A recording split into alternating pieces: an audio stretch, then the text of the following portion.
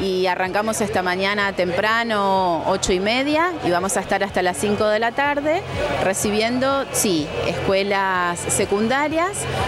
para que los chicos puedan disfrutar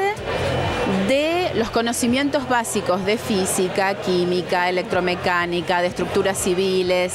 y se saquen ese miedo o ese preconcepto de que la física y la química es aburrida, es difícil, es tediosa. Entonces, bueno, les, les hemos preparado unas cuantas experiencias para que disfruten, toquen, vean, experimenten, jueguen, se entretengan y podamos lograr despertar esa curiosidad en los chicos por algo que a lo mejor les resulta más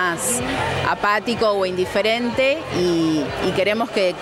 que, se interesen, que se diviertan un rato en esta jornada. Pero los docentes investigadores de la casa, ellos mismos son los que prepararon experiencias en función de las materias que dan, de las cátedras que tienen a su cargo, de los proyectos de investigación que, que llevan adelante. Entonces, bueno, cada uno hizo su propuesta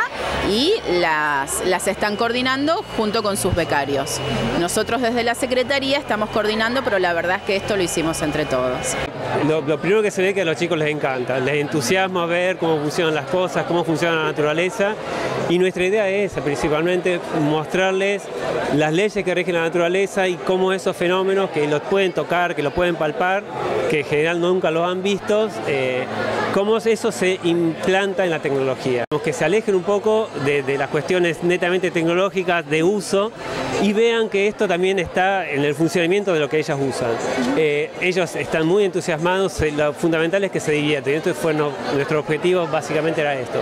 que se diviertan usando, que se diviertan experimentando y que bueno, los entusiasme para seguir una carrera científica técnica.